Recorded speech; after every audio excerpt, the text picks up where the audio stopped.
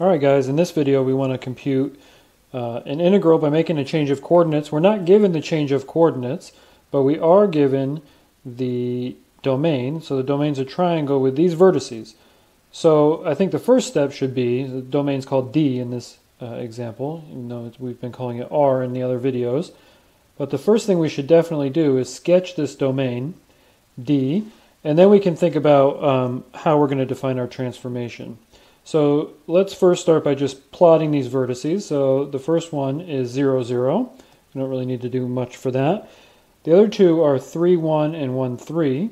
So I'm just going to put some tick marks here. 3, 1 is going to be right here. So this is 3, 1 in the xy plane. And 1, 3 is up here. 1, 3. And so if we connect these together, then this triangle right here, this is our domain D in the xy plane. Now notice that this domain is neither type 1 nor type 2 by itself. Um, it can easily be done by, say, making it type 1 by dividing this into two triangles right here, into, say, a left side and then a right side. Um, you'd have to do two integrals. It's not a big deal. But the point of this one is to practice doing a transformation of the coordinate system. And so to do that, we need to find or choose a transformation, and it's got to come from another domain. So we'll call this coordinate domain the UV domain. And we, we need to make a decision right now. The first decision we need to make is what kind of shape do we want to have in our UV domain? And there is not a wrong choice here. Well, there might be a wrong choice, but basically since the domain D is a triangle in the xy plane, we want to find a triangle in the UV plane to transform this to, but we want to do it in such a way that it's going to be easier to integrate. And so uh, since it's already a triangle, the only thing that's going to make it easier is to make it either type 1 or type 2. And probably we should try to make it into a right triangle, and that'll really make our life as easy as possible. So um, I'm just going to make some choices here, but you can experiment with this on your own and make sure that you get the same answer. But I'm going to say let's make the origin map to the origin. So I'm going to color code these points. So the origin will, will go to the origin. And then I'm going to pick, say, the point over here. Let's make this the point 1, 0. This point I'm going to have mapped to the point 3, 1. Okay? And then the next point I'm going to pick is going to be the point, so this is the point 1, 0. The next point I'm going to pick is going to be the point 1, 1. So I'm picking a really nice geometry here in the, in the space that we're going to actually compute the integral in. Okay? And when you fill this in, this is now a right triangle, and it's given by, obviously it goes from 0 to 1, so the u goes from 0 to 1 uh, this way, and v, going this way, is bounded between v equals 0, uh, oops, v equals 0, um, and as a lower bound, and the upper bound is this line right here, and this line is just u equals v because I chose this point to be 1, 1. Okay, so this goes from v to u. I'm sorry, from 0 up to u. Okay, in the v direction. So this is going to be our domain S, and this is great, but now the problem is we need to find the transformation that does this for us. And the easiest thing for us to do is going to be to actually find the transformation that goes this way because, well, it doesn't really, we can find either one actually. But yeah, we're going to need this one. And since we chose our domain, let, us find this one. Okay, so on the next page, we'll write out everything we have here. So um, we go to the next page. So again, we want to find our t of u and v that the expressions are going to be, since this is taking uh, straight line edges, if we go back to our picture, the idea here again is that it's going to take straight edges to straight edges, right? Um, and so if we can figure out how these edges get mapped, then we'll have everything. Um, so this edge corresponds to this one. And so we really just need to figure out how the two, how the two, the green and the yellow in the picture that I've drawn here, how those two map, and then the third one will take care of itself.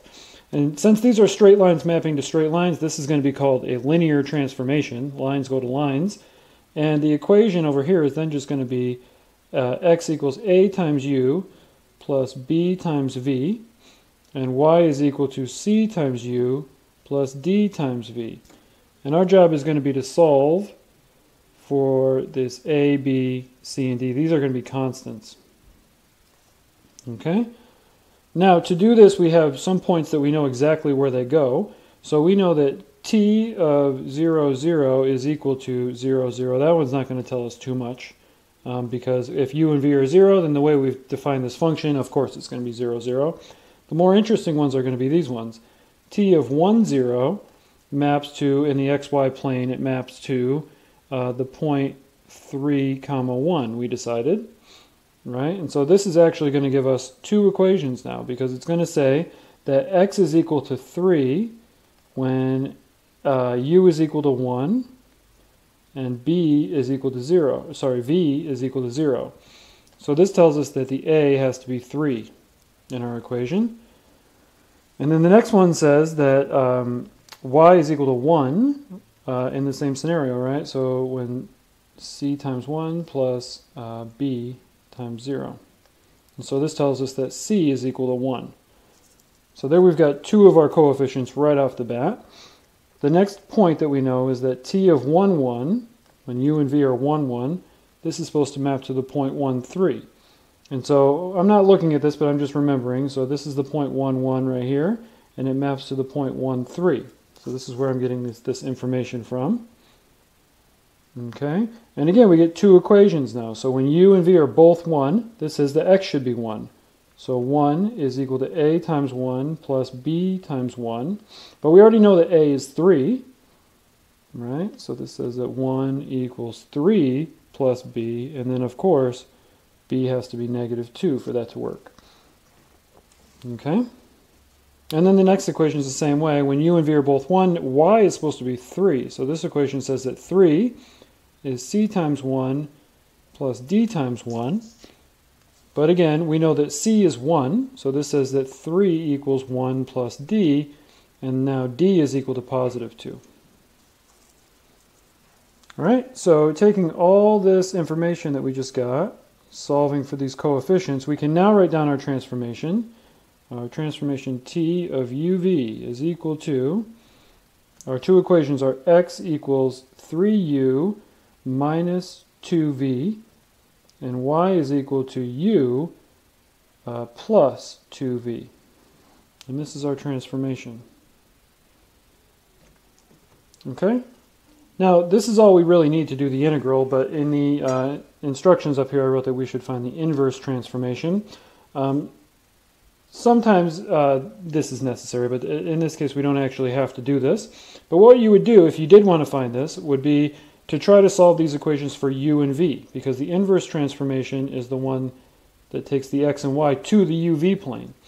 Okay, and one way to, to do that is to just add these equations together, and what you'll end up with is just, it's like elimination, right? So x plus y is equal to 4u, and so this says that u has to equal 1 fourth x plus 1 fourth y.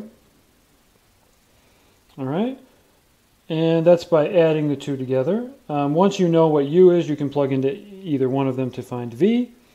And so you can use the second one. But y is then equal to 1 fourth x plus 1 fourth y plus 2v.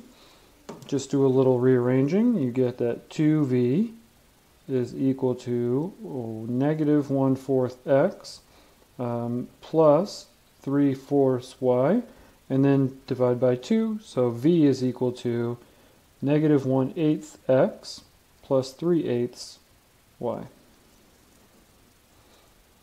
Okay, and so these two functions, the u and the v, they make up the inverse transformation. Again, we don't need it for this problem, but if you do need to do this on a homework problem or on a problem in the future, that's, that's how you would solve for the inverse transformation. But for us, we only care, we care about this transformation, the straightforward um, transformation that takes the UV points to the XY plane. All right, so now we need to use this to try to compute the integral. Um, we'll compute the Jacobian first and write out the integral. So remember our transformation, t of uv was equal to, let's just go back and remember it. It's x is 3u minus 2v And y, the equation was, is equal to u plus 2v. All right, and we need to compute the Jacobian of this so that we know how this affects the area of our, of our shape. And so remember the Jacobian as a, as a matrix, j hat of uv, this is just the matrix of partial derivatives. dx du, dy du, dx dv, and dy dv. All right, and so these derivatives, because these equations are linear, are just going to be numbers. dx du is just the derivative of x with respect to u, that's just 3. Uh, dy du is just 1. dx dv is negative 2, and dy dv is positive 2. And so the Jacobian matrix for this transformation is just a constant matrix. Um, it doesn't change from point to point. It's the same at every point. And this is uh, one of the definitions you could use to define a linear transformation, actually, that the transformation equals its Jacobian at every point. All right, so now what we need to do is take the Jacobian determinant, or what we just call the Jacobian in this class, and remember that is just our crisscross difference of the two diagonal elements.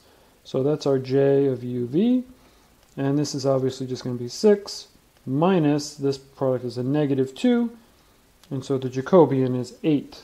So this transformation stretches the space by a factor of 8 as far as area goes. And if we go back to our picture, I drew these things so they look about the same size, but the scale is way off because um, in this shape, the scale is just 1. This is a 1 by 1 triangle. Um, and this one, these, these sides are um, much longer. So this goes out to 3, right? So it stretches by a factor of 8. All right, now we want to write down our integral. So uh, we have to go back and remember what our integral was, but it was the integral over d, this region d, of 3x plus y squared dA. So that's in the xy plane. 3x plus y squared dA. Okay, and now we need to change um, everything. So this is the integral over, we'll call it s. We'll have to write this out in a second. But of, we have to plug in these formulas for x and, and for y and get this integral in terms of u and v. Okay, so this is going to be now 3 times the formula for x, so 3 times 3u minus 2v, plus u plus 2v quantity squared. And then this whole thing has to get multiplied by our Jacobian, don't forget the Jacobian, 8, and then du dv. Okay, and we know that the boundaries of our integral, we wrote this down before, are that um, this is kind of backwards. We're going to have to switch the order of these two. Okay, but this is, uh, in the u direction it goes from 0 to 1. In the v direction it goes from 0 up to u. Okay, and then we can kind of factor out the 8. It can just hang out. And we should multiply through everything else so that we can easily integrate this thing with respect to u and v.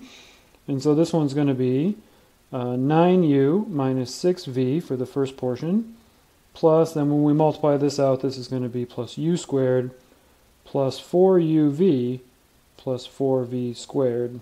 And now it's dv du. Okay? So this is the integral we have to compute. We obviously need some more room to do this, so I'll copy this and take it to the next page. And let's compute this integral. Remember, this is an iterated integral. There's no Fubini theorem here because the boundary on this inner integral is a function, right? So we have to integrate with respect to v first. Again, the 8 can hang out from 0 to 1. Um, and we just do this term by term integrating with respect to v. So all the u's are just constants here. So this one's going to be um, 9uv minus, this is 3v squared, plus u squared v, plus this one becomes 2uv squared, and then plus 4 thirds v cubed. And now we plug in our boundaries of v equals 0 and u before we do the next integral. So when all the v's become 0, it zeroes out all those terms. When the v's become u's, they become u's. So this is now 9u squared minus 3u squared plus u cubed plus 2u cubed plus 4 thirds u cubed du. And of course it makes sense now to combine all the different powers. So total here we have 6u squared plus we're going to have, what is this, um, 3, 9, 13 thirds. Uh, please fix this if I'm wrong. 13 thirds u cubed du, and from here we just finish off the integral. So antiderivative of 6u squared is going to be 2u cubed plus antiderivative of this is 13 twelfths u to the fourth. And we plug in our boundaries of 0 and 1 again. This time it's 1 though, so this leaves us with 8 times 2 plus 13 twelfths. And if we add this up, this is going to be 8 times 24 plus 13 is 37 over 12. And so 8 times 37 is 240 plus 56, so 296 over 12, which of course reduces. I should have reduced it back there, but I'm going to leave it like this. Okay? You can reduce it. Reduce this fraction.